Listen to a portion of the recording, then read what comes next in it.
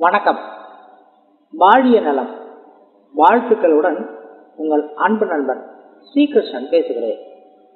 நம்மை சுற்றி உள்ள சமூகத்தில் பார்க்கிறோம். சில குடும்பங்களில் ஒருவர் தியாகியாக இருப்பார்.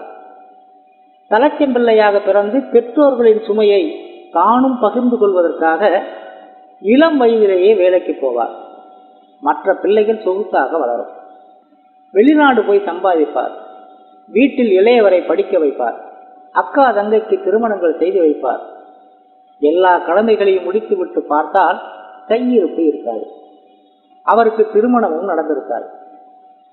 பாகப்பிரிவினை நடக்கும். மெயினான இடங்களை மற்றவர்கள் அபகரித்துக் கொள்ள சந்து கொண்டு சரியான வழி இல்லாத இடங்களில் அல்லது விவசாய நிலங்களை ஒதுக்கிவிட்டு மற்றவர்கள் போய்விடுவார்கள். இவரும் பெரிதுபடுத்த மாட்டார். ஒரு ஏமாளியாகவே இருப்பார். இவ்வாறான நிலைக்கு என்ன காரணம்? எந்த கிரகம் இப்படி சுக வாழ்வை இல்லாமல் செய்கிறது? நல்ல கேள்வி.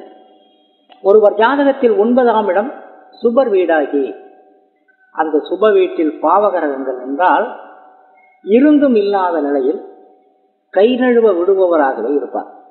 எந்த சுகத்தையும் முழுமையாக அனுபவிக்க முடியாதவராக இருப்பார்.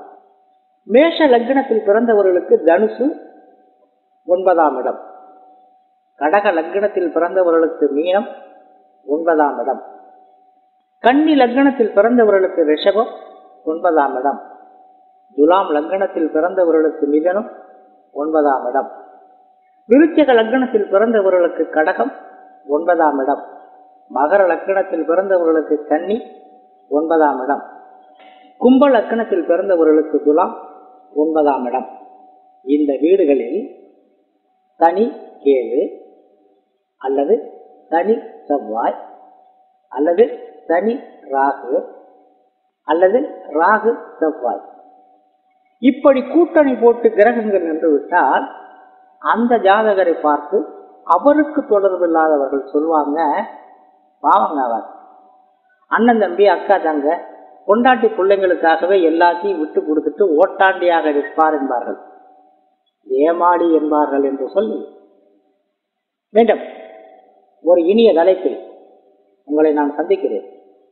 அதுவரை உங்களிடமிருந்து வணக்கம் கூறி விடைபெறுவது உங்கள் அன்பு நண்பன் ஸ்ரீகிருஷ்ணன்